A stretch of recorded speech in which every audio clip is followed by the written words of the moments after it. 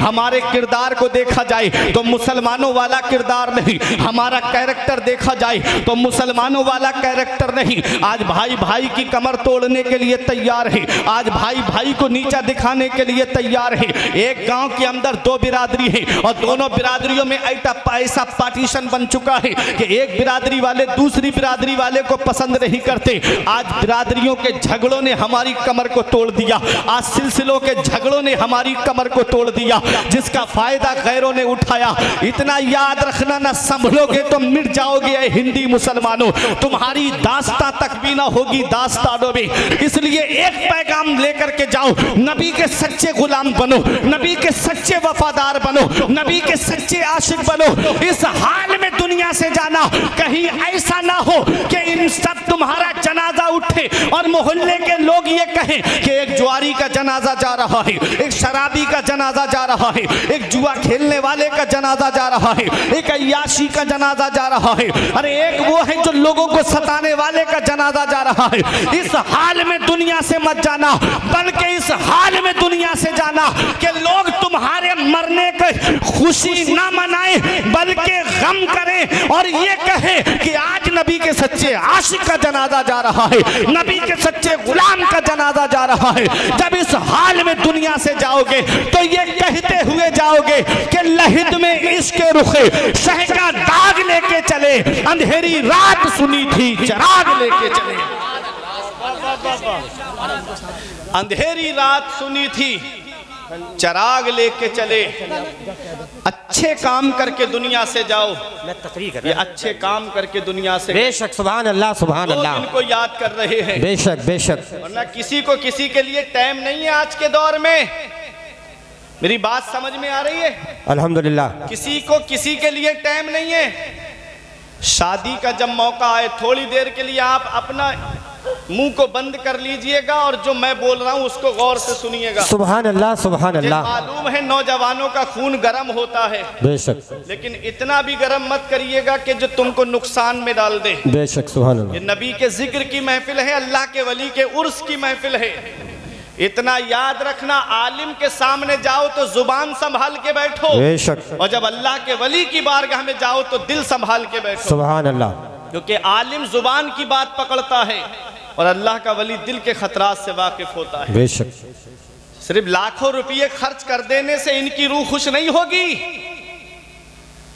जिस दिन फजर में ऐसे नमाजी जमा हो जाएँ जैसे जुमे में जमा होते हैं तब इनकी रूह तुमसे खुश हक है हक है सुबहान अल्लाह नमाजें छोड़ के कहता है मैं हुसैनी हूँ। शराबे पी के कहता है मैं हुसैनी हूँ। जुआ खेल के कहता है मैं हुसैनी हूँ। अयाशी करके कहता है मैं हुसैनी हूँ। नमाजें छोड़ के कहता है मैं हुसैनी हूँ। बता हुसैन ने कब फर्जे ऐन छोड़े हैं। मेरे अज़ीज़ में पहुँचा हूँ इस नतीजे पर। नमाज़ छोड़ दी समझो हुसैन छोड़े हैं। आज मस्जिद देखो हमने वीरान कर दी। और सिनेमा हॉल हमने आबाद कर दिए। आज हर घर को सिनेमा हॉल बना दिया हमने। बेशक। सोचते हो कि जन्नत में चले जाएँगे? जन्नत मिलना इतना आसान नहीं है जितना आज हमने सोच रखा है। आला हज़रत अजीमुल बरकत फरमाते उनको रहम आए तो आए वरना। सुबह अल्लाह वो कड़ी मार है क्या होना है? अल्लाह। के लोगों से किए जिसके गुनाह वो खबरदार है क्या क्या होना है? कल अल्लाह तो दीदार का दिन है और यहाँ। आँख बेकार है क्या हो क्या होना है? ये अचानक आने वाली मौतों से इबरत हासिल नहीं करते। अभी तीन दिन गुजरे एक खबर को अभी तुमने देखा नहीं? बेशक। क्या मामला था भोजीपुरा स्टेशन के पास का? जी। पूरी गाड़ी में ब्लास्ट हो गया ऐसी आग लगी कि एक भी ज़िंदा सलामत ना बचा। अल्लाह। कि अचानक आने वाली मौतों से इबरत हासिल नहीं करते। इनसे नसीहत हासिल नहीं करते। मौत का कोई भरोसा नहीं। मौत का कोई पता नहीं कब और किस जगह और किस हाल में आ जाए। इतना याद रखना नौजवानों अगर गाने सुन करके सो गए और आँख कब्र में जाकर के खुली तो बताओ कौन है जो तुम्हारे काम आएगा। अल्लाह अकबर। फ़िल्में देख करके सो गए और आँख कब्र में जाकर के खुली तो बताओ कौन है जो तुम्हारे काम आएगा। बेशक। कभी सोचा आज चेहरे हमारे इस लायक नहीं कि नबी के सामने खड़े हो सके। अगर चेहरे पे सुन्नत रसूल नहीं और कब्र में आका ने अपना चेहरा अनवर फेर लिया बेशक बेशक। तो फिर बताओ कौन है जो कब्र में हमारे काम आएगा? इसी को आला हज़रत कहते हैं उनको रहम आए तो आए वरना। वो कड़ी मार है क्या होना है? छुप के लोगों से किए जिसके गुनाह वो खबरदार है क्या होना है? बेशक। कल तो दीदार का दिन है और यहाँ। कल तो अपने नबी का दीदार करना है। कल मौला अली का दीदार करना है। कल गौसे आज़म का दीदार करना है। फ़िल्में देख के ये आँखें इस लायक हैं कि हम अपने नबी के सामने खड़े हो सके। गाने देख करके ये आँखें इस लायक हैं कि अपने नबी से हम नज़रें मिला सके।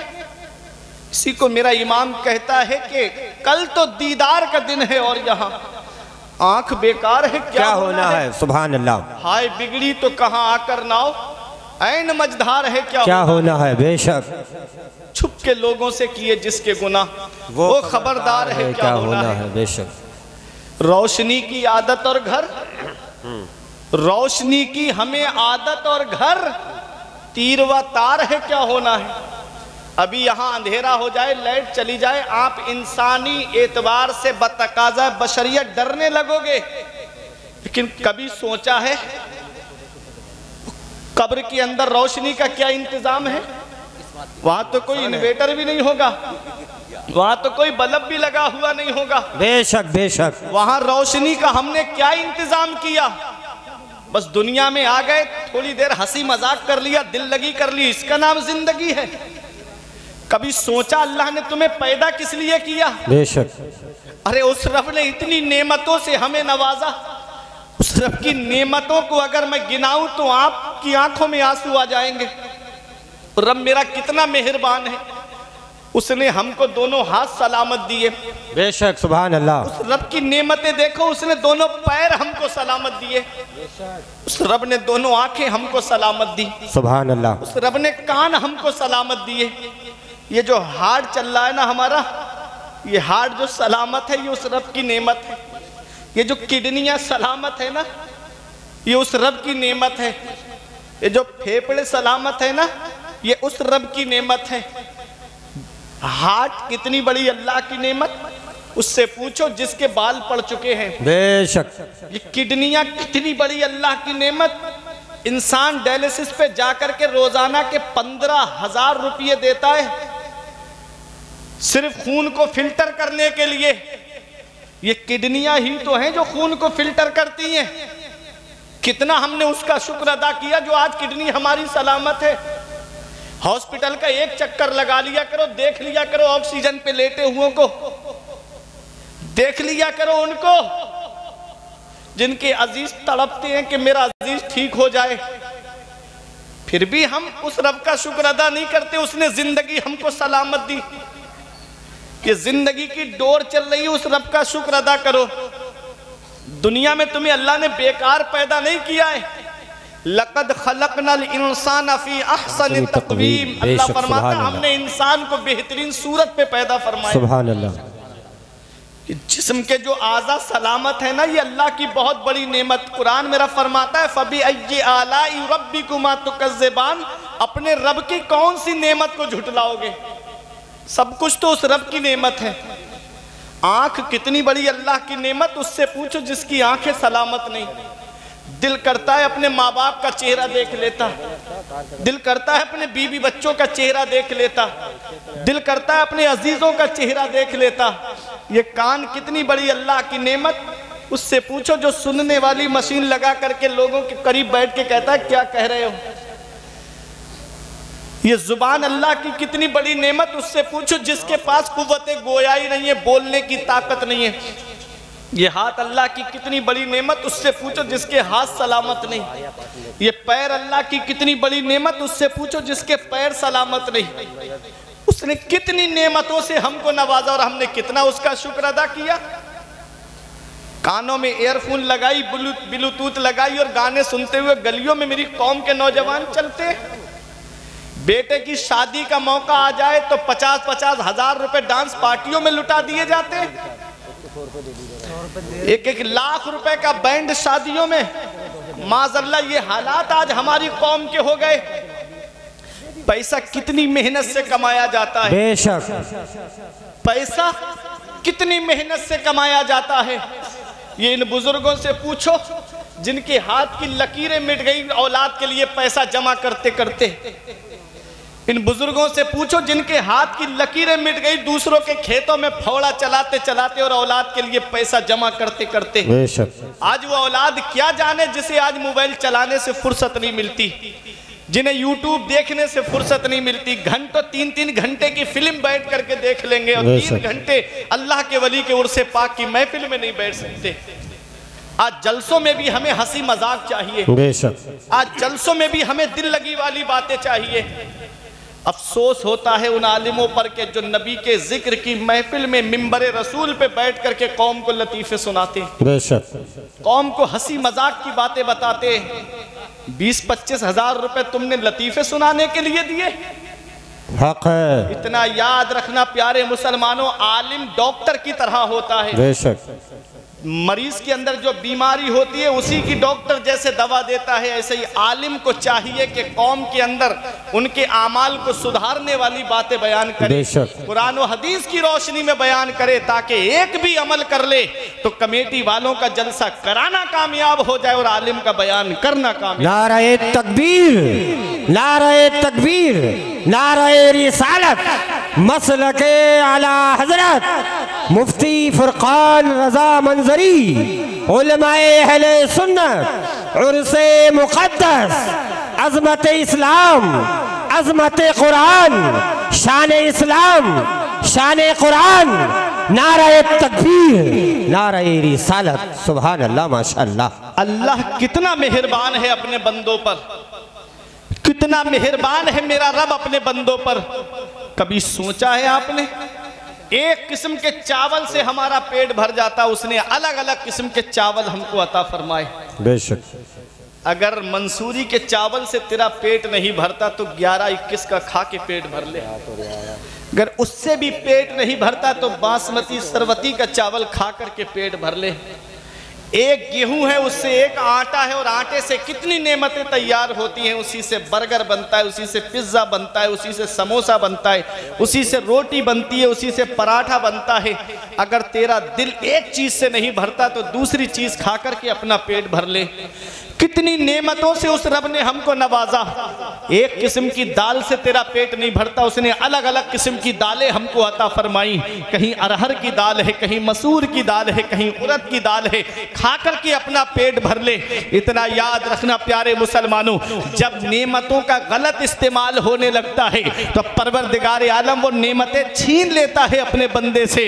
आज नेमतों का कितना गलत इस्तेमाल हो रहा है। शादी ब्याह के मौके पर जाओ तो घर में एक हफ़्ता चिकन नहीं बनेगा। शादी ब्याह के मौके पे जाएगा तो तू चिकन के लेग पीस पे लेग पीस खाएगा। आधा खाया, आधा नीचे डालेगा। आधा खाया, आधा नीचे फेंकेगा।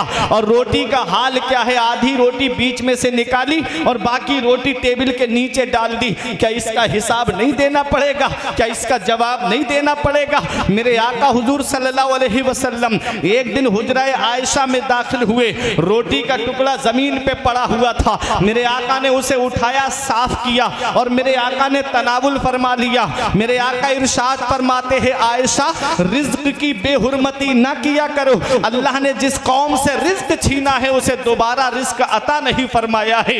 इसलिए रिस्क की कदर किया करो, खाने की कदर किया करो और शादी ब्याह के मौके पे जाओ तो उस वक्त अपने मुँह को लगाम दिया करो ताकि कहीं ऐसा ना हो कि आप जो है वो इसराफ में दाखिल हो जाएँ। कहीं ऐसा ना हो कि आप खाने की बेहुरमती करते हुए नज़र आए। ए उर्से पाक की महफिल में आने वालों, आज दुनिया जो इनको याद कर रही है, इन्होंने अल्लाह की नेमतों का शुक्र अदा किया और ऐसा शुक्र अदा किया, ये नमाजें पढ़ के दुनिया से गए, ये रोज़े रख के दुनिया से गए, ये लोगों को फ़ायदा पहुँचा के दुनिया से गए, ये लोगों को नफा पहुँचा के दुनिया से गए। इसलिए दुनिया आज इनको याद कर रही है। आज रात के बारह बज चुके हैं और आप यहाँ जहाँ सर्दी के मौसम में बैठ करके इनका ज़िक्र सुन रहे हो इनके उर्स की महफिल में आए हो ये इस बात की दलील है कि ये अल्लाह और उसके रसूल को राज़ी करके गए हैं और जो अल्लाह और उसके रसूल का हो जाता है फिर सारी खुदाई उसकी हो जाती है। सुभान अल्लाह सुभान अल्लाह अल्लाह उनकी मोहब्बत को दिलों में डाल देता है अल्लाह उनकी मोहब्बत को दिल से निकलने नहीं देता है। आओ जरा देखो प्यारे मुसलमानों आज हम जिस दुनिया में अपनी ज़िंदगी गुजार रहे हैं ये दुनिया हमेशा रहने की जगह नहीं है। बड़े बड़े ताकतवर आए बड़े बड़े पैसे वाले आए बड़े बड़े जालिम आए बड़े बड़े बादशाह आए। वो जिनके पास दौलत का अंबार लगा रहता था, वो जिनके सामने खजाने रखे रहते थे, वो जो बिल्डिंगों और महलों में फख्र किया करते थे, आज तारीख उठा करके देखो, इन्ना बदशरबे का लशदीद, तेरे रब की पकड़ बहुत सख्त है। जब अल्लाह पकड़ता है तो कोई छुड़ाने वाला नहीं मिलता। उसने जो ज़िंदगी की डोर को ढीला किया हुआ है। इसे गनीमत जानो और अपनी ज़िंदगी को अल्लाह की इबादत करके गुजार दो। अपने रब की इबादत करके गुजार दो। नबी की सुन्नतों पे अमल करके गुजार दो। आओ, तुमने देखा नहीं? अभी तीन साल गुजरे, कोरोना को गए हुए। क्या हाल हो गया था हिंदुस्तान का? एक एक घर में तीन तीन जनाजे मैंने रखे हुए देखे। अल्लाह अकबर, आओ जरा देखो तो सही। बरेली शरीफ में एक मोहल्ला ऐसा जिसमें एक दिन में अट्ठारह जनाजे उठते थे। कब्रिस्तान में कब्र खोदने वाला कब्रिस्तान छोड़ करके भाग गया। ये अचानक आने वाली मौतों से इबरत हासिल नहीं करते। जो पहली लहर में बच गए, वो दूसरी में निकल गए। कैसी आई थी दूसरी लहर? लाखों रुपये हथेली पर रख करके घर वाले पैरों की जूतियाँ घिस गई, ऑक्सीजन तलाश करते करते। फिर भी उनको ऑक्सीजन न मिल सका। औलाद तड़पती रही अपने बाप के लिए ऑक्सीजन ले आऊँ। औलाद तड़पती रही कि अपने बाप के लिए ऑक्सीजन तलाश कर लूँ। पैरों की जूतियाँ घिस गई, लेकिन ऑक्सीजन न मिल सका। इन अचानक आने वाली मौतों से इबरत हासिल नहीं करते। जब अल्लाह पकड़ता है तो कोई छुड़ाने वाला नहीं मिलता। इसलिए उस रब की पकड़ से डरो। इन्ना बदशरबे का लशदीद। तेरे रब की पकड़ बहुत सख्त है। हमने देखा हाल क्या हो गया था। कोई तांगे में लेट करके ऑक्सीजन चढ़वा रहा था। कोई चारपाई में लेट करके ऑक्सीजन चढ़वा रहा था। कोई अपने घर में ऑक्सीजन चढ़वा रहा था। करोड़ों रुपयों के मालिक हॉस्पिटल पूरा खरीद सकते हैं। लेकिन ऐसा हाल हो गया था कि उनको ऑक्सीजन तो बहुत दूर की बात, हॉस्पिटल में बेड तक नसीब नहीं हुआ। अल्लाह अकबर, अपने रब की पकड़ से डरते रहो। जब अल्लाह पकड़ता है तो कोई छुड़ाने वाला नहीं मिलता। उस रब की पकड़ से डरो। जब अल्लाह पकड़ता है तो कोई छुड़ाने वाला नसीब नहीं होता। मेरे रब ने आज हमको बेशुमार नेमतों से नवाजा। उस रब की इबादत करके दुनिया से जाओ। उस रब की इबादत करके दुनिया से जाओ पेशानी में सजदों की तड़प पैदा करके जाओ। जब इस हाल में दुनिया से जाओगे तो यही कहा जाएगा लहिद में इसके रुखे शह का दाग लेके चले अंधेरी रात सुनी थी चिराग लेके चले, याद रखना अल्लाह। प्यारे मुसलमानों आज अल्लाह के वली के उर्स में आप आए हो। मैंने कहा था ना जन्नत मिलना इतना आसान नहीं है जितना आज हमने सोच रखा है। जिनके रुतबे हैं सिवा उनको सिवा मुश्किल है। अल्लाह अकबर उस्मान गनी, जिन्हें दुनिया में जन्नती होने की बशारत मिली। वो कब्रिस्तान में खड़े होकर इतना रोते, आँखों से आँसू बरसते, दाढ़ी भीग जाती, आँसू ज़मीन पे गिरने लगते। मौला अली इतना रोते कि दाढ़ी भीग जाती और आँसू ज़मीन पे गिरने लगते। हज़रत उमर बिन अब्दुल अज़ीज़, जिनसे मुजद्दिदियत का सिलसिला चला है। सबसे पहले मुजद्दिद का नाम हज़रत उमर बिन अब्दुल अज़ीज़ है। अल्लाह अकबर, वो एक दिन आपकी बीबी कहती है, मुझे ऐसा लगा कि आज की रात में हज़रत का इंतकाल हो जाएगा। हज़रत नमाज़ पढ़ रहे थे कुरान की तिलावत कर रहे थे। अल्लाह अकबर जब आपने एक आयत करीमा तिलावत की कल फराशिल मबसूस उस दिन लोग बिखरे हुए पतिंगों की तरह हो गए। कहते उमर बिन अब्दुल अज़ीज़ रो रो के कह रहे थे हाय उस दिन मेरा क्या हाल होगा? हाय उस दिन मेरा क्या हाल होगा? ये वो लोग हैं जिनके पास सजदे हैं। ये वो लोग हैं जिनके पास में सजदों की तरफ़ मौजूद है, जिनके पास इबादत का सवाब मौजूद है, जिनके पास हज्जो जक़ात का सवाब मौजूद है, जिनके पास सदका व खैरात का सवाब मौजूद है, जिनके पास नेक आमाल का सवाब मौजूद है।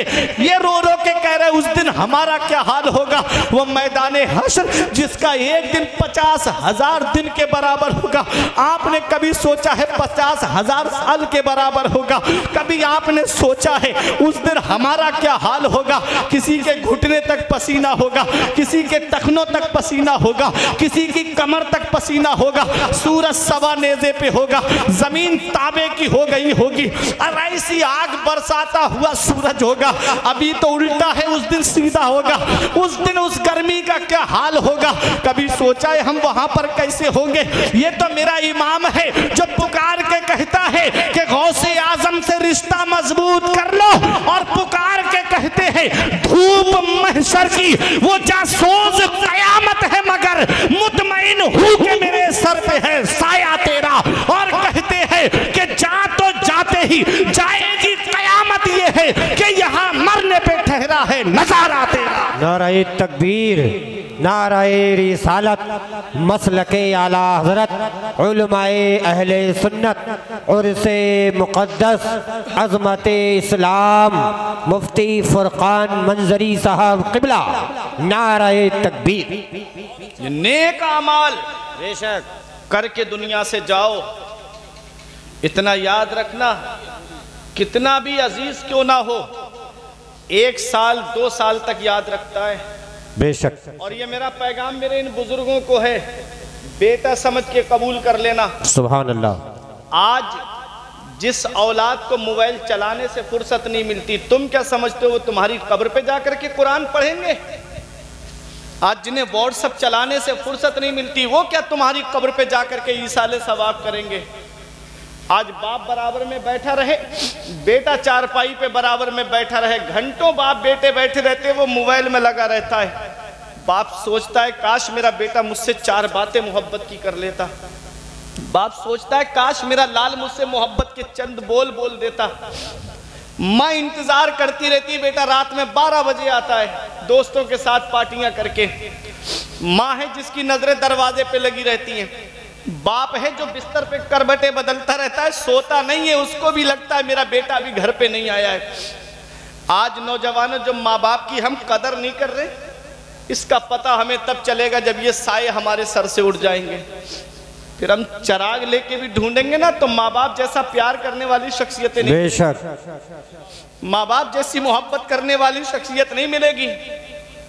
ये माँ ही तो है जब बेटा बाहर काम करने चला जाए जब तक फ़ोन पे उसे ये पता नहीं चल जाता कि मेरे बेटे ने खाना खा लिया है तब तक माँ खाने को हाथ नहीं लगाती। सुबह अल्लाह ये बाप ही तो है।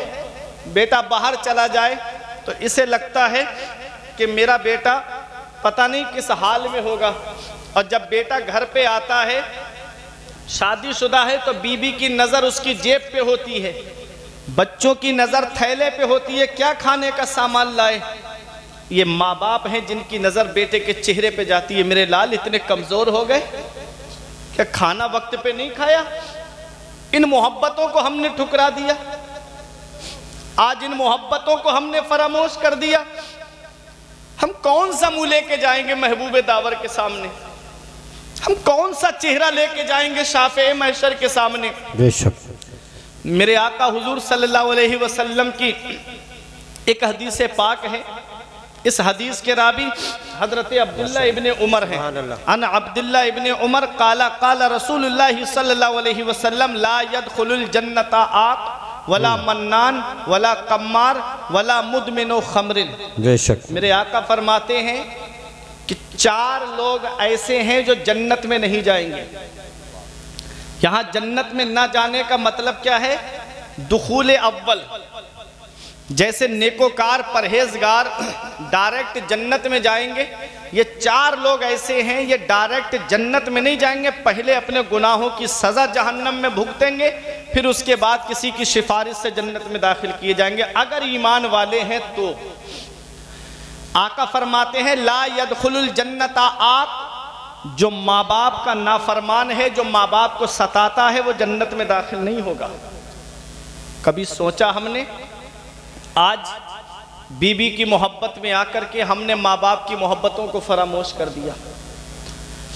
आज माँ बाप एक एक पैसे के लिए परेशान है और बेटा टूरों पे टूर करता नज़र आता है। इधर माँ बाप दवाई के लिए परेशान और बेटा अजमेर की बड़ी देग में पैसे डाल के आ रहा है।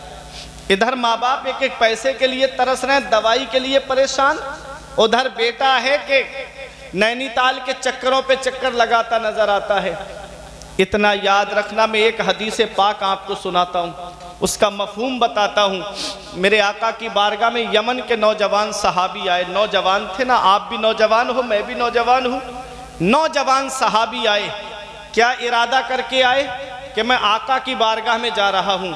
अब आका की खिदमत ही में रहूँगा जितनी ज़िंदगी बची है मदीने में गुजारूँगा। अल्लाह अगर मेरा इंतकाल भी हो गया तो मेरा मदफन मदीने शरीफ में बनेगा। कितनी प्यारी नीयत है। अरे मदीने में मौत आ जाए तो उस मौत का कहना ही क्या? अल्लामा हसन कहते हैं जी के मरते हैं जो जाते हैं मदीना ए हसन। और मर के जीते मर के जीते हैं जो जाते हैं मदीना ए हसन और जी के मरते हैं जो आते हैं मदीना छोड़कर। और आला हज़रत फरमाते हैं तैबा में मर के ठंडे चले जाओ आँखें बंद सीधी सड़क ये शहर शफात। नगर की है। और ताजुशरिया फरमाते हैं मदीना ऐसा गुलशन है जो हर गुलशन की जीनत है। बहारे बागे जन्नत भी मदीना की बदौलत है। मदीना छोड़कर जन्नत में कोई जा नहीं सकता। मदीने से मोहब्बत है तो जन्नत की जमानत है। उस मदीने में सहाबी आए जिसके बारे में मुफ्ती आज़म ने फरमाया, पयाम लेके जो आई सबा मदीने से, मरीज़ इश्क की लाई दवा मदीने से। तमाम शाहो गदा पल रहे हैं जिस दर से मिली जहान को रोजी सदा मदीने से। और मदीना जाने जिनानो जहान है यारो। चलो हमेशा की ले लो बका मदीने से। उस मदीने में सहाबी आए, तजल्लियों की अजब है फिजा मदीने में। निगाह शौक की है इंतहा मदीने में। गमे हयात ना खौफे कज़ा मदीने में। बराह रास्त है राह खुदा मदीने में। तो मदीने में सहाबी आए हैं उस मदीने में आका इरशाद फरमाते हैं जिससे हो सके मदीने में मरे। तो वो मदीने ही में मरे क्योंकि जो मदीने में मरेगा मैं उसकी शफात करूँगा। सुभान अल्लाह अरे मोहब्बत से बोल दो सुबहान अल्लाह सुभान अल्लाह उस मदीने में सहाबी आए जिसकी मिट्टी के बारे में आका फरमाते हैं मदीने की मिट्टी में शिफा है। अल्लामा हसन कहते हैं, न हो आराम जिस बीमार को सारे जमाने से उठा ले जाए थोड़ी खाक उनके आस्ताने से। उस मदीने में सहाबी आके कहते हैं, या रसूल अल्लाह मैं यमन से आया हूँ और अब वापस नहीं जाना चाहता। तो मेरे आका ने इरशाद फरमाया, हल का अबावाया? क्या तुम्हारे माँ बाप ज़िंदा हैं? क्या तुम्हारे माँ बाप हयात हैं? सहाबी ने अर्ज़ किया हाँ या रसूल अल्लाह मेरे माँ बाप तो ज़िंदा है। नबी इरशाद फरमाते हैं, क्या उनको तुम ये बता के आए हो कि अब उनका बेटा मदीने शरीफ जा रहा है? वापस नहीं आएगा। अर्ज़ किया हाँ या रसूल अल्लाह मैं माँ बाप को ये बता के आया हूँ कि अब मैं वापस नहीं आऊँगा। नबी इरशाद फरमाते हैं, जब तुमने अपने माँ बाप से इजाज़त ली तो ये भी बताया कि अब उनका बेटा वापस नहीं आएगा।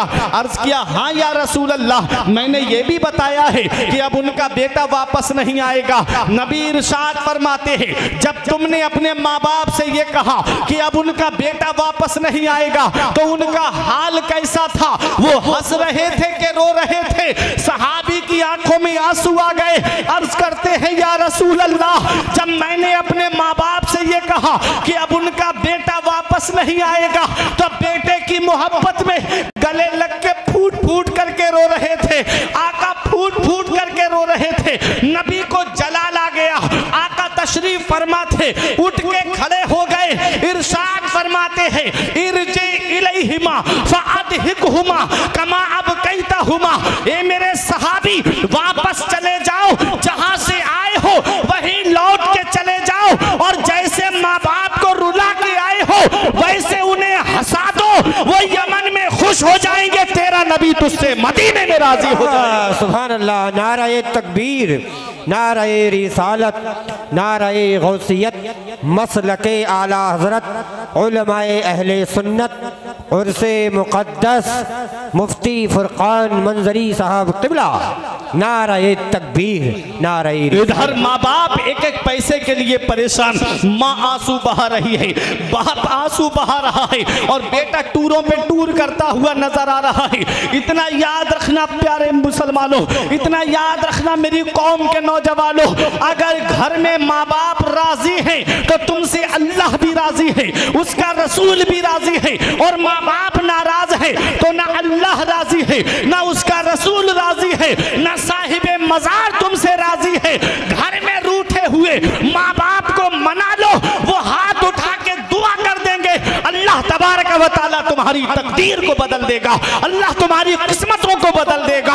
अरे धूप कैसी भी हो साया नहीं खोने देता। राह कैसी भी हो बेबस नहीं होने देता। बेच के अपना लहू चाहे वो रोटी लाए बाप औलाद भूखा नहीं सोने देता। सुभान अल्लाह सुभान अल्लाह ये बाप है ये माँ है जो औलाद के लिए आँसू बहाते हैं। ये माँ बाप है जो औलाद के लिए आँसू बहाते रहते हैं। आज वही औलाद जवान हो गई चार पैसे क्या कमाने लगी? माँ बाप का बिस्तर घर से बाहर कर दिया जाता है। खुद के कमरे में एसी लगा है खुद के कमरे में कूलर चल रहा है। जाड़ों में गर्म हीटर का इंतज़ाम है और माँ बाप है कि टीनों में रह करके झोपड़ियों में रह करके अल्लाह अकबर, पुराना लिहाफ ओढ़ करके अल्लाह का शुक्र अदा करते हैं। क्या इसी दिन के लिए औलाद को माँ बाप ने जवान किया था? क्या इसी दिन के लिए औलाद को माँ बाप ने पाला था? हम कौन सा मुँह लेके जाएँगे महबूब दामर के सामने? मौलाना रूम फरमाते हैं, एक शख्स की बीबी ने यह शिकायत की कि तुम्हारा बाप पूरी रात खांसता रहता है। इसकी खांसी की वजह से मेरे बच्चे सो नहीं पाते।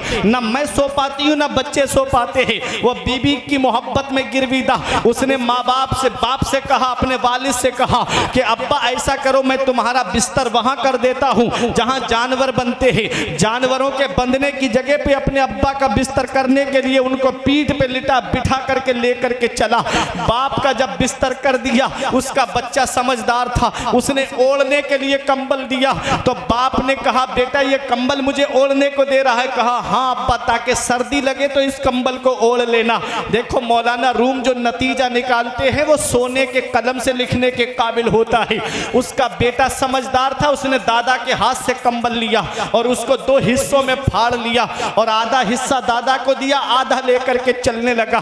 बाप ने कहा, बेटा, इतने अच्छे लिहाफ रखे थे, तूने ये कंबल क्यों खराब कर दिया? बेटे, तू मुझे बताता तो सही, मैं तुझे नया कंबल दे देता। तो उस बच्चे ने कहा था अब्बा, इसमें राज की बात है वक्त आने पे बताऊँगा। बाप ने कहा, बेटा, आज ही बतानी होगी। तो वो बच्चा कहता है, अब्बा, आज आपके वालिद बूढ़े हो गए। इनके जिस्म की हड्डियों ने जवाब दे दिया। आज इनकी खांसी की वजह से आपने इनको जानवरों के बंधने की जगह पे ला करके लिटा दिया। ऐसे ही कल जब तुम बूढ़े हो जाओगे, जब मेरे बीवी बच्चे परेशान होंगे आपकी वजह से तो यही ला करके जब मैं तुम्हें लिटाऊँगा तो यही आधा कंबल मैं तुम्हें ओढ़ने के लिए दूँगा।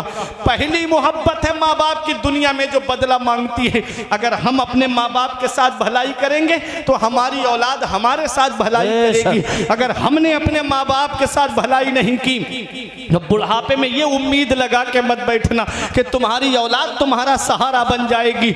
आज माँ बाप को छोड़ करके हम कोई जा करके कहता है मौलाना साहब आप बरेली शरीफ से आए हमारे कारोबार के लिए दुआ कर दो। शायर इस्लाम उस्मान रजा हारूनी आए आए और आकर कहा हज़रत दुआ कर दो हमारे कारोबार के लिए। हम दुआ कराते फिर रहे हैं लेकिन दुआ लेते नहीं है। मेरे आका ने इरशाद फरमाया माँ बाप की दुआ औलाद के हक में ऐसे कबूल होती है जैसे नबियों की दुआ उम्मत के हक में कबूल होती है। आज हम दुआ कराते फिर रहे हैं हम दुआ लेते नहीं है। घर में रूठे हुए माँ बाप को बना लो वो हाथ उठा के दुआ कर, कर देंगे तो तुम्हारी दुकान में भी बरकत होगी तुम्हारे मकान में भी बरकत होगी तुम्हारे कारोबार में भी बरकत होगी। माँ बाप की दुआ औलाद के हक में ऐसे कबूल होती है जैसे बनी इसराइल के नबियों की दुआ कबूल होती है। जैसे नबियों की दुआ रद्द नहीं होती, ऐसे ही माँ बाप की दुआ भी रद्द नहीं होती है। माँ बाप के पास में जाओ और उनसे अपने लिए दुआ कराओ। माँ की दुआ से मुसीबतें टल जाती है। माँ की दुआ से परेशानियाँ टल जाती है। आओ, मैं आपको एक हदीस पाक का मफहूम बताऊँ। बनी इसराइल का किस्सा कभी कभी मेरे आका सहाबा को सुना दिया करते थे। और सुनो, जब तक मेरे आका ने बयान नहीं फरमाया, तब तक वो किस्सा था। और जब मेरे आका ने अपनी ज़ुबान मुबारक से फरमा दिया तो वो हदीस बन जाती है। रसूलुल्लाह सल्लल्लाहु अलैहि वसल्लम के कौलो फेलो तकरीर को हदीस कहते हैं। मेरे आका ने बनी इसराइल का एक किस्सा बयान फरमाया कि तीन लोग सफ़र कर रहे थे।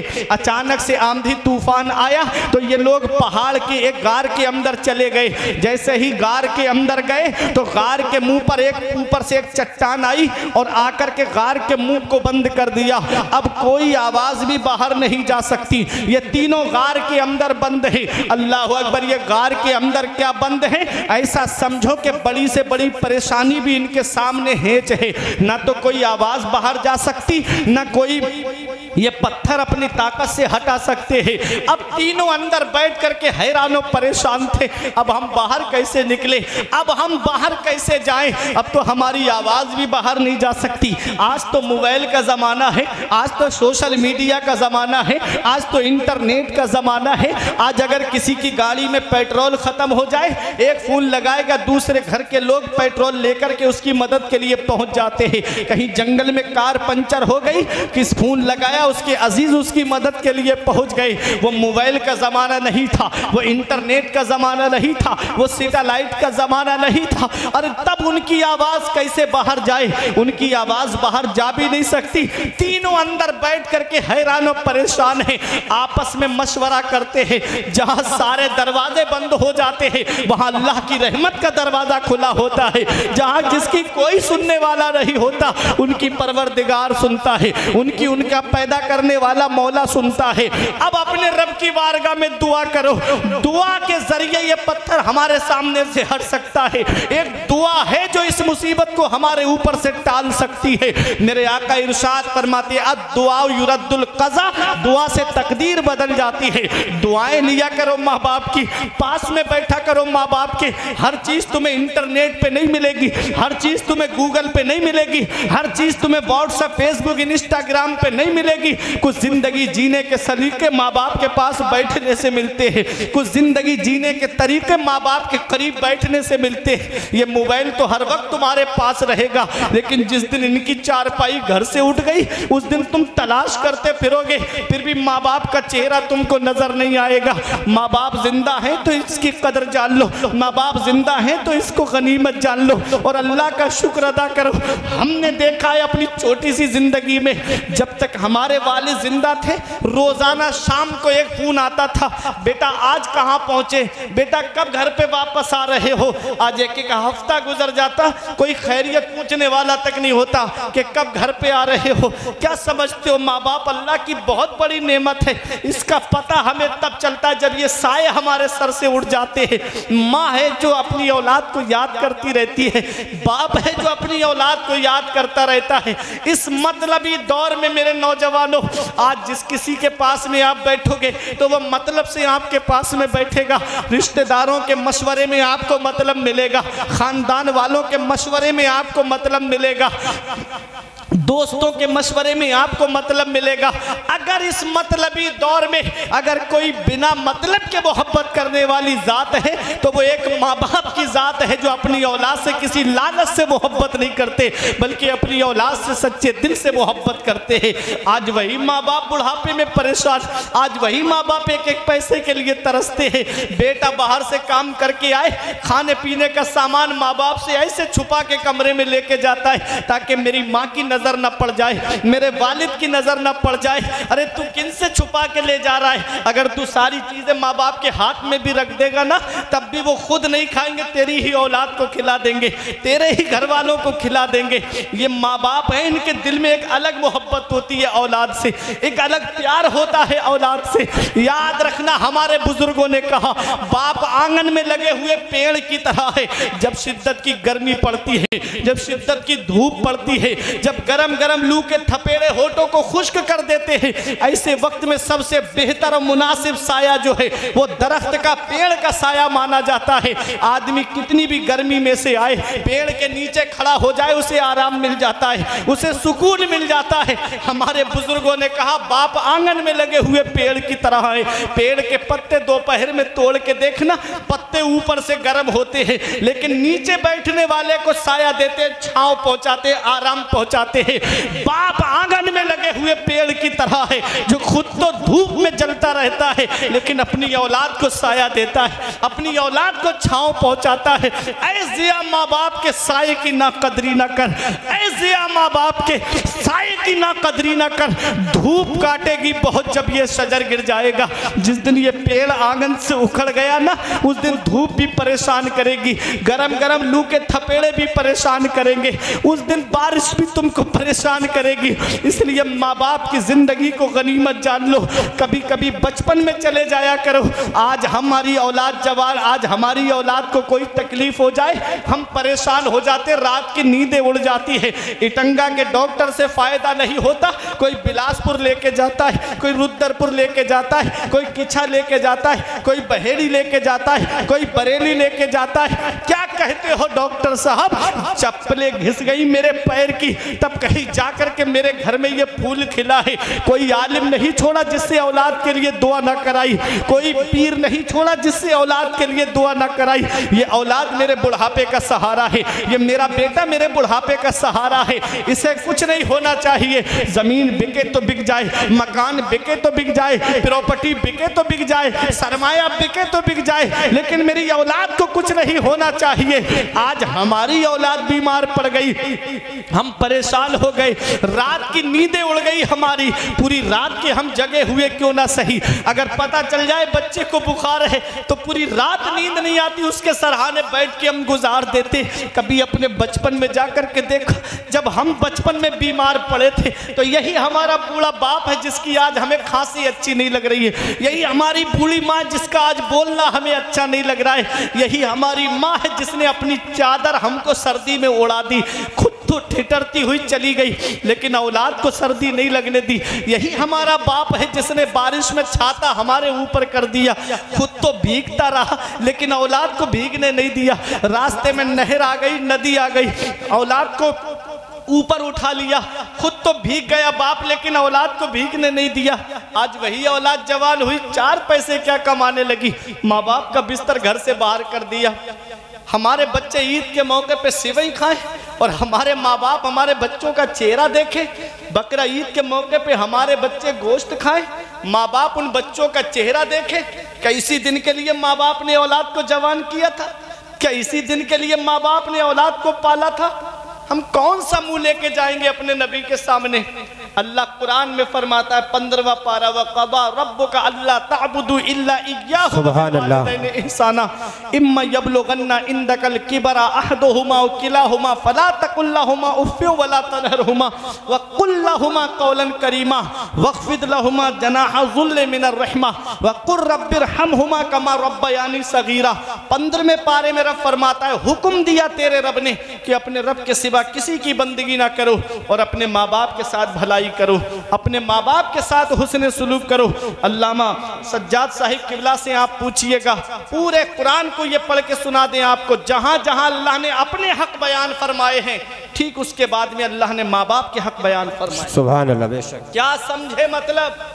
मतलब ये है हुकूकुल्लाह के बाद में बंदे का जब हक का मामला आता है तो बंदे के हक में सबसे पहला हक जो है वो माँ बाप सुभान अल्लाह माँ बाप अल्लाह की बहुत बड़ी नेमत। कुरान मेरा फरमाता है मेरा रब इरशाद फरमाता है आप बैठ जाएँ अगर थक ना हो तो बैठ जाइएगा। मैं ख़त्म करने जा रहा हूँ अपनी बात को। उर्स की महफिल में आप आए हैं। देखें सुने। बैठ जाइए। ज़रूरी पैगाम दे के जा रहा हूँ मैं। इस इसलिए जलसों में नहीं आता कि आप मुझे बार बार बुलाएँ। मैं इसलिए आता हूँ कि ताकि एक भाई ने भी अमल कर लिया। तो मेरा बयान करना कामयाब हो जाएगा और आपका उर्से पाक कराना कामयाब हो सुभान अल्लाह बेशक। सुनो माँ बाप कितनी बड़ी अल्लाह की नेमत। माँ बाप की दुआ से मुसीबतें टल जाती हैं। बेशक। माँ बाप की दुआ से बुलंद मकाम मिलता है। मूसा सलाम जो अल्लाह के जलीलुल कद्र पैगंबर हैं जब कोहे तूर पे चढ़े तो पैर फिसल गया। आवाज़ आई रब की बारगाह से मूसा संभल के आया करो। अर्ज़ किया मेरे मौला मैं इससे पहले तारीखी रातों में आया बयाबान जंगलों से आया तूने कभी नहीं फरमाया मूसा संभल के आया करो। आज क्यों फरमाया? रब ने इरशाद फरमाया मूसा जब तुम आते थे तो तुम्हारे पीछे तुम्हारी माँ हाथ उठा के दुआ करती थी मौला मेरे मूसा को सलामत रखना। आज वो दुआ करने वाले हाथ नहीं रहे तुम्हारी माँ का इंतकाल हो चुका है। अल्लाह। एक दिन मूसा सलाम ने रब की बारगाह में अर्ज़ की मौला जन्नत में मेरा साथी कौन बनेगा? बेशक। तो रब तबारक व ताला ने वही भेजी इरशाद फरमाया फला मोहल्ले का कस्साब तुम्हारा साथी होगा जो जन्नत में तुम्हारे साथ जाएगा। अल्लाह। अब हर इंसान हमारी आदत ये है आपस में इंसान की इंसान को पता चल जाए कि ये मेरा जन्नत में साथी बन के जाएगा। तो दिल में ये शौक होगा कि ना देख तो लूँ है कौन सी शख्सियत जो जन्नत में मेरे साथ जाएगा? वो तो अल्लाह के पैगंबर हैं अल्लाह के नबी हैं अल्लाह के रसूल हैं। जलीलुल कद्र पैगंबर कलीमुल्लाह आपका लकब है आपने अल्लाह से कलाम किया है अल्लाह से बातें की हैं। जब गए आप उस मोहल्ले में कस्साब को देखा तो वो गोश्त बेच रहा था और बेहुदा बातें भी बोल रहा था, बदतमीजी भी बोल रहा था। हालात होते हैं आदमी की ज़ुबान होती है। आपने देखा कोई ऐसा अमल नहीं है इसका जो पैगंबर के साथ जन्नत में जाए? जब उसने अपनी दुकान समेटी तो कहा, चलिए, आप मेरे मेहमान हैं, मेरे घर चलिए। जब घर गए तो खाना उसने अपने हाथों से तैयार किया। उसके बाद जब खाना तैयार हो गया तो अल्लाह के पैगंबर से बोला, आप बैठिए। मूसा सलाम बैठे हैं। उसने कहा, पहले मैं अपनी माँ को खिलाऊँगा। बूढ़ी माँ थी, मुँह में दांत भी नहीं। अपने मुँह में लुकमा लेकर के बारीक किया, फिर उसके बाद अपनी माँ के मुँह में डाला। इस तरीके से उसने अपनी माँ का पेट भरा, शिकम शेर कराया। और जब माँ शिकम सैर हो गई, आसूदा हो गई तो माँ को लेटा दिया। कहा, अब आइए, अब अपने खाना खाते हैं।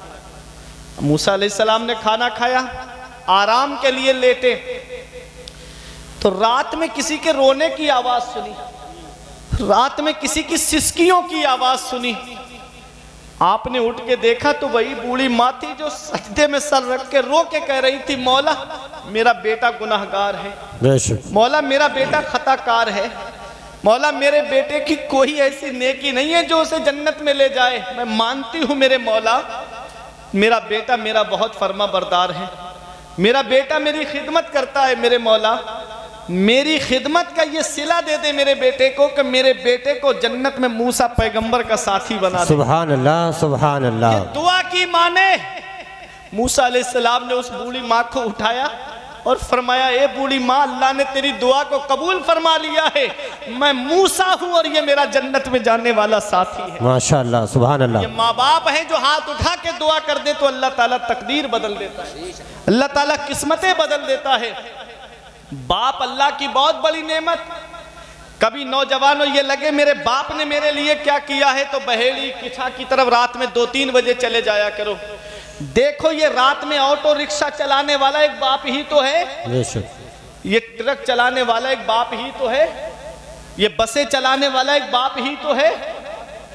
अरे ये अपना शहर छोड़ के दूसरे शहर सर्दी में कमाने जाने वाला ये एक बाप ही तो है। अरे तीन तीन साल के लिए सऊदी जाने वाला ये एक बाप ही तो है। ये मुंबई, बेंगलोर, कर्नाटक कमाने दिल्ली जाने वाला ये एक बाप ही तो है। जो सोचता है मेरी औलाद के लिए चार पैसे जमा हो जाएँगे, उसके खर्चे में काम आएँगे। ये पैरों में मोजे नहीं, हाथ में दस्ताने नहीं, कानों से रुमाल भी नहीं, फिर भी फलों का ठेला लगा के कोहरे में पूरे दिन खड़ा होने वाला ही एक बाप ही तो है। ये रक्षा चलाने वाला एक बाप ही तो है। ये टुक टुक चलाने वाला एक बाप ही तो है। ये एक बाप है, जिसकी आज खांसी हमें अच्छी नहीं लगती, जिसका बुढ़ापा हमें अच्छा नहीं लगता। एक दिन मैंने अपने अब्बा से पूछा था अब्बा मेरे हाथ की लकीरें नज़र आ रही हैं आपके हाथ की लकीरें कहाँ चली गई? तो एक जवाब दिया था बेटा तुम्हारी तकदीर बनाते बनाते हमारे हाथ की लकीरें मिट गई। बाप क्या नहीं करता अपनी औलाद के लिए? बाप कौन सी कुर्बानी नहीं देता अपनी औलाद के लिए? माँ बाप ज़िंदा है तो कदर कर लो माँ बाप ज़िंदा है तो उनकी खिदमत कर लो। इसी को शायर ने कहा था ऐ जिया माँ बाप के साय की ना कदरी ना कर धूप काटेगी बहुत जब ये शजर गिर जाएगा। धूप कैसी भी हो साया नहीं खोने देता। राह कैसी भी हो बेबस नहीं होने देता। बेच के अपना लहू चाहे वो रोटी लाए बाप औलाद को भूखा नहीं सोने देता। और। ठुकरा देगा। एक दिन मेरी सारी ये कुर्बानियाँ दामन उम्मीद में फकत नाकामियाँ रह जाएँगी। शादियों के बाद बेटे तो अलग हो जाएँगे। बाप के हाथों में फकत बैसाखियाँ रह जाएँगी। और बुढ़ापा क्या जवानी क्या ये बचपन बांट लेते हैं। न होकर दिल में गुंजाइश तो आँगन बांट लेते हैं। नहीं मंजूर हिस्से में किसी बेटे को अपनी माँ मगर आपस में बूढ़ी माँ के कंगन बांट लेते हैं। बेशक। मगर मगर आपस में बूढ़ी माँ के कंगन बांट लेते हैं। अल्लाह अकबर। तो कितनी भी मुसीबतें आ जाए परेशानी आ जाए अल्लाह माँ बाप की दुआ से दूर फरमा देता है। देखो वो तीन हैं। बनी इसराइल के तीन फर्द हैं और पहाड़ के अंदर हैं गार में है पत्थर गिर गया मुँह पे अंदर कोई नहीं है जो आपकी आवाज़ को बाहर पहुँचा सके। बेशक। रोने लगे इस वक्त कौन है जो हमारी फरियाद को सुनेगा? दिलों के राज अल्लाह जानता है दिलों के हालात अल्लाह जानता है। जहाँ सारे दरवाजे बंद होते वहाँ अल्लाह की रहमत का दरवाज़ा खुला होता है। आपने कहा, हमने ज़िंदगी में जो नेक अमल किए हैं, जो सबसे अच्छा काम किया है, उसके वसीले से दुआ मांगो, अल्लाह ताला मुसीबत को दूर कर देगा। एक खड़े हुए बोले, मैं, ए मेरे परवरदिगार, मेरे दिल का हाल तू जानता है, मेरे माँ बाप बूढ़े हो गए, एक दिन मैं बकरियाँ चराने ले गया, रात ज़्यादा हो गई, मेरे माँ बाप भूखे सो गए, मैं बकरियाँ लेकर के जब जंगल से घर पे आया, मैंने दूध को दूहा और उसके बाद मैंने, मेरे बच्चे मेरे कदमों में लौट रहे थे, अब्बा भूख लगी है, फिर दूध पिला दो। मेरी बीबी कह रही थी माँ बाप सो गए हैं, कम से कम इन बच्चों को तो दूध पिला दो। लेकिन मैंने ना बीबी की सुनी, ना बच्चों का रोना देखा। मैं अपने माँ बाप के पास दूध लेकर के गया और मैंने उठाया नहीं, जब तक मेरे माँ बाप खुद से बेदार नहीं हो गए। पूरी रात मेरे बच्चे मेरे कदमों में लौटते रहे, लेकिन मैंने अपने माँ बाप को बिना खिलाए, जो अपनी औलाद को नहीं खिलाया। जब मेरे माँ बाप उठे तो मेरी माँ ने देखा तो आँखें भीग गई, बेटा, कब से खड़े हो? कहा, अम्मा, पूरी रात से खड़ा हूँ। अल्लाह अकबर, माँ की आँखें भीग गई, बाप की आँखें भीग गई। पहले दूध अपने माँ बाप को पिलाया, फिर अपने बच्चों को पिलाया, फिर अपनी बीवी को पिलाया। आज का मेरा नौजवान होता तो माँ बाप तड़पे भूख से, लेकिन पहले मेरे बीवी बच्चे खाने चाहिए। माँ बाप रोए एक एक पैसे के लिए परेशान रहे, लेकिन पहले मेरे घर का अच्छा होना चाहिए। ये हालात आज हमारी कौम के हो गए। वो कहता है, मौला, ये नेकी मैंने, ये हुस्न सुलूक मैंने अपने माँ बाप के लिए, साथ में सिर्फ़ तेरी रजा के लिए किया है, मौला। अगर मेरा ये नेक अमल तेरी बारगाह में कबूल है तो इस पत्थर को हटा दे। मेरे आका इरशाद फरमाते उसका ये दुआ करना था कि अल्लाह ने पत्थर को थोड़ा हटा दिया। बेशक। इतना हटा कि रोशनी आने लगी। लेकिन अभी वो निकल नहीं सकते बाहर। अब दूसरा नौजवान खड़ा हुआ। पैगाम है मेरे नौजवानों के लिए। वो कहता है मौला एक मेरी चचाजाद बहन थी जिस पर मैं आशिक हो गया था मेरा दिल आ गया था। लेकिन वो परिवार गरीब था मैं मालदार था दौलत वाला था। एक दिन गुर्बत ने जब ज़्यादा परेशान किया, उसके बहन भाई भूख से तड़पने लगे बिलकने लगे तो मेरी बहन मेरे पास मदद मांगने के लिए आई।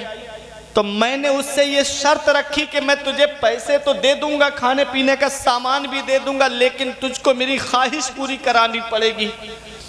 तो मेरी बहन ने मुझसे कहा था, अल्लाह से डर, खुदा का खौफ खा जो मोहर अल्लाह ने मुकर्र फरमाई है, उसको तोड़ने की कोशिश मत कर।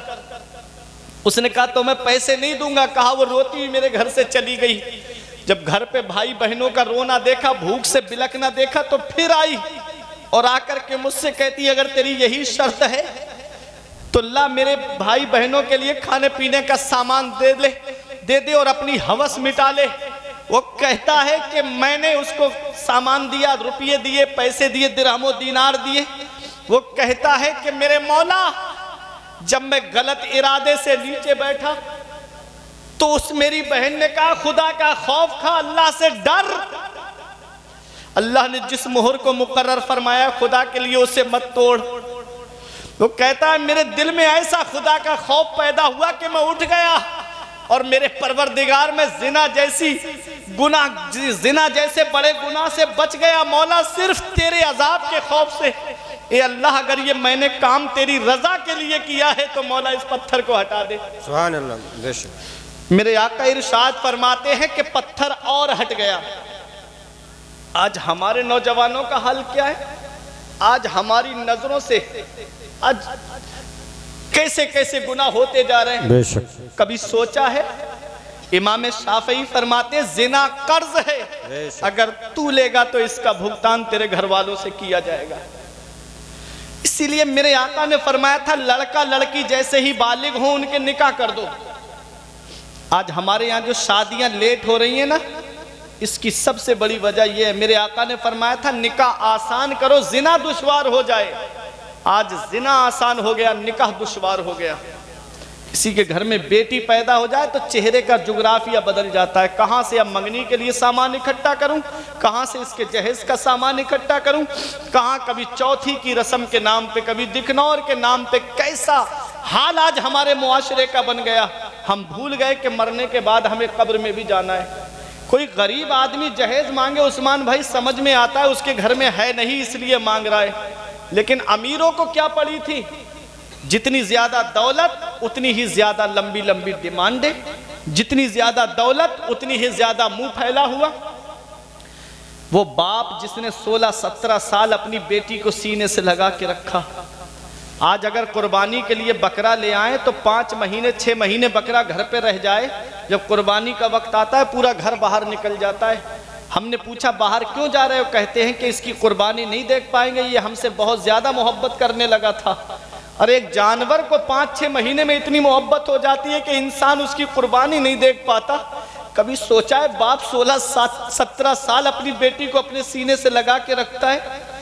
ये जहेज लेने वाले नहीं जानते ना? ये जहेज के लोग भी नहीं जानते कि एक बाप ने कितनी परेशानियाँ उठा करके अपनी बेटी को पाला है? खुद की बेटी के लिए ये सोचते हैं कि जाकर के ससुराल में खूब आराम करे। दूसरे की बेटी घर पे आ जाए तो उसे सताना शुरू कर दिया जाता है। कभी जहेज के नाम पे टॉर्चर किया जाता है। आए दिन अखबारों में खबर आती है, किचन में सिलेंडर फटने से बहू की मौत हो गई। कभी सास नहीं मरी, कभी सुना आपने? किसी सास का भी कभी इंतकाल हुआ बहू ही क्यों मरती है? इतना याद रखना, ये हंसने की बात नहीं है, रोने की बात है। बेशक। आज जो हमारी कितनी कई लाख मुस्लिम बेटियाँ मुर्तद्दा हो गई दूसरे लोगों के रीति रिवाज के मुताबिक शादियाँ कर ली। हमारे कान पे जू तक नहीं रिंगी। रोज़ाना इंटरनेट पे देख रहे हैं फला इलाके की मुस्लिम बेटी ने इस्लाम धर्म छोड़ दिया। अभी तुमने नहीं देखा आयशा नाम की लड़की का जो वीडियो वायरल हुआ था उसने कहा था मुझे मर्दों की सूरत से नफरत होने लगी है। रोज़ाना मुझे टॉर्चर किया जाता है जहेज के नाम पर। ये जहेज की लानत ने कितने घर तबाह कर दिए। इस जहेज की लानत ने कितने घर बर्बाद कर दिए। कभी देखा है मदीने वाले मुस्तफ़ा सल्लल्लाहु अलैहि वसल्लम ने अपनी बेटी फातिमा का निकाह कैसी सादगी के साथ फरमाया? बेशक सुभान अल्लाह आका चाहते तो जन्नत से सामान आता हज़रत फातिमा के लिए। मेरे आका ने ऐसी सादगी के साथ शादी फरमाई हज़रत फातिमा की। शादी करो तो ऐसी करो सादगी के साथ जैसे अली का अक्द हुआ फातिमा के साथ। सुभान अल्लाह शादियाँ बेटा मिल गया, अल्लाह ने नेमत दे दी, उसकी शादी का मौका आया तो लंबी लंबी डिमांडें, लंबी लंबी डिमांडों के दरवाजे खोल दिए। बहनें कहती हैं, मेरा एक भाई है, इतनी आसानी से इसकी शादी नहीं करेंगे, सारी बहनों को जेवर चाहिए। अल्लाह अकबर, ये हालात आज हमारे यहाँ की शादियों के हो गए। किसी गरीब की बेटी को अपनाओ, उस गरीब का हाथ अपने हाथ में लेके कहो, अल्लाह का दिया हुआ सब कुछ है मेरे पास। गाड़ी भी है एसी भी है फ्रिज भी है, मकान भी है, सब कुछ है, अल्लाह का दिया हुआ। बस एक बेटी की कमी है जो तेरे घर पे लेने आया हूँ। जब इस हाल में उसके माँ बाप को खुश कर दोगे तो आने वाली लड़की तुमको सास ससुर का दर्जा नहीं, बल्कि अपने माँ बाप का दर्जा देती हुई नज़र आएगी। लेकिन जब जहेज के नाम पर उसके माँ बाप को खून के आँसू रुलाया जाता है, यही वजह है कि एक महीना नहीं गुजरता। बहू अपना चूल्हा अलग कर लेती है। अब ये बैठ करके कहते हैं, किसी मौलाना से ताबीज करा के ले आई, पता नहीं किस पीर से ताबीज करा के ले आई, मेरे बेटे को भी अपने कब्जे में कर लिया। अरे तुमने उसकी शादी कैसे की? काश उसकी शादी सुन्नत रसूल के मुताबिक करते, काश उसकी शादी सुन्नत रसूल के मुताबिक करते तो अल्लाह और उसका रसूल तुमसे राज़ी हो जाता। अल्लाह उस शादी में इतनी बरकतें अता फरमाता कि मियाँ बीबी भी सुकून से रहते लेकिन हालात ऐसे हो गए पाँच पाँच सौ की बारातें लेकर के जाना जहेज की लंबी लंबी डिमांडें करना खून के आँसू रुलाया जाता है बेटी वालों को। याद रखना उस बेटी को भी अल्लाह ने पैदा किया है तुमको भी अल्लाह ने पैदा किया है। मेरे आका तो मेरे आका तो काफिरों का रोना नहीं देखते हैं। तो जरा सोचो जब मुस्लिम बेटियाँ बिस्तर पे रोती होंगी जब मुस्लिम बेटियाँ बिस्तरों पे कराती होंगी मेरे नबी को कितनी तकलीफ़ पहुँच पहुँचती होगी, तुमने कभी सोचा है, जंगे बदर में जब सत्तर काफिर गिरफ़्तार करके लाए गए, मस्जिद नबवी के सहन में लिटा दिए गए, उनके बंद कस के बंधे हुए थे, मेरे आका थोड़ी देर आराम के लिए लेटे, उनके रोने की आवाज़ सुनी, उनके कराहने की आवाज़ सुनी, उनकी सिस्कियों की आवाज़ सुनी, मेरे नबी के सगे चचा हज़रत हज़रत अब्बास भी उसमें शामिल थे, मेरे नबी ने जब रोने की आवाज़ सुनी, बेचैन हो गए मेरे नबी, हुजरे से बाहर तशरीफ़ लाए। इरशाद फरमाए, मेरे सहाबा, इनके बंद खोल दो। इनके करहाने से मुझे तकलीफ़ पहुँच रही है। इनके रोने से मुझे तकलीफ़ पहुँच रही है। वो मेरा नबी जो काफिरों का रोना ना देखे, वो मेरा नबी जो काफिरों का कराहना ना देखे। बताओ, जब मुस्लिम बेटियाँ जो बिस्तरों पे कराहती होंगी, रोती होंगी तो मेरे नबी को कितनी तकलीफ़ पहुँचती होगी? मेरे नबी को कितना रंज पहुँचता होगा?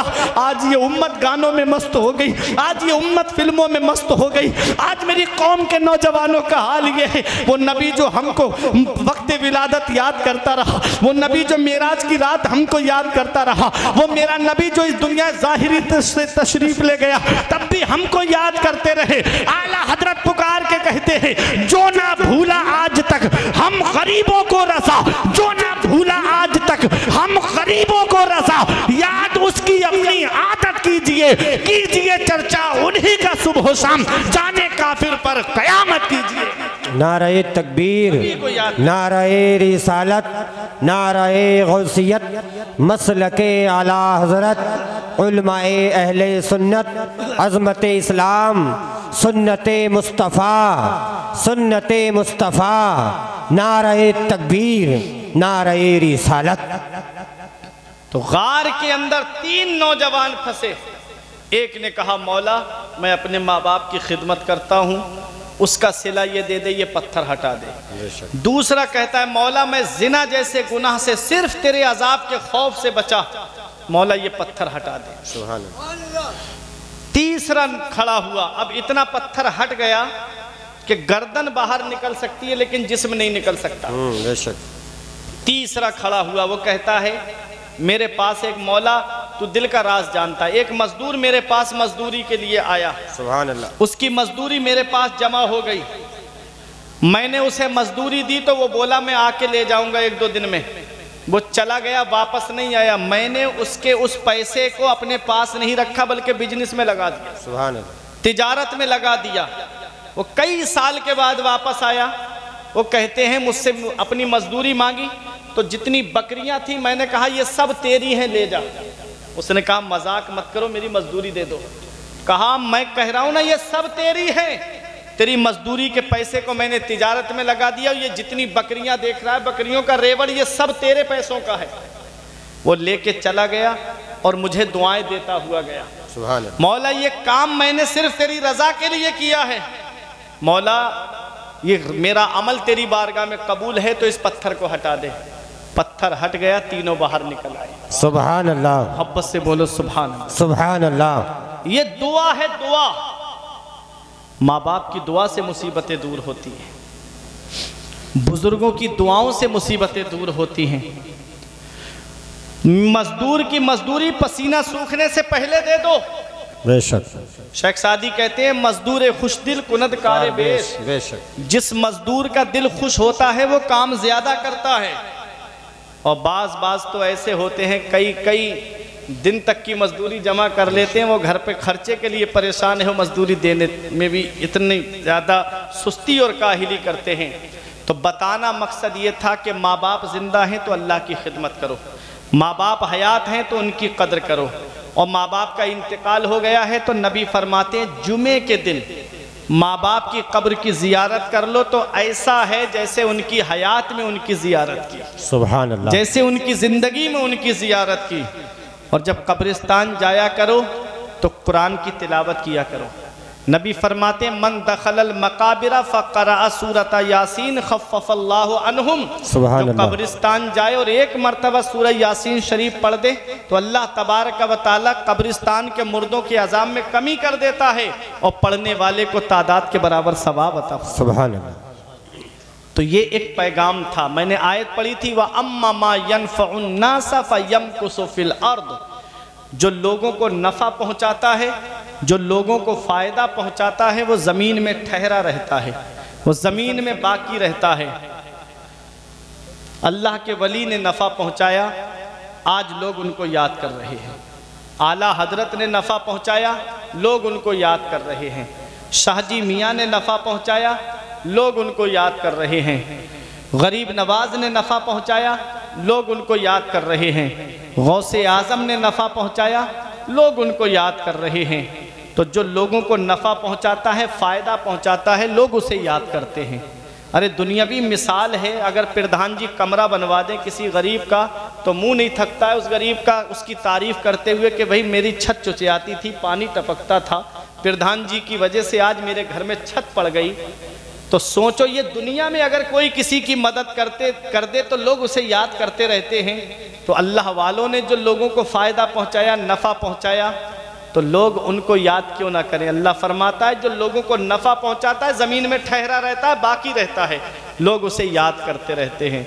और जो अल्लाह तबारक व ताली का फर्मा बरदार होता है सारी दुनिया फिर उसका कहना मानती है। शेख सादी ने लिखा है तू अज हुक्म गर्दन जे दावर म पेच के गर्दन न पेचत जे हुक्मे तू बेशक। तू अल्लाह के हुक्म से गर्दन मत मोड़ दुनिया की कोई चीज़ तेरे हुक्म से गर्दन नहीं मोड़ेगी।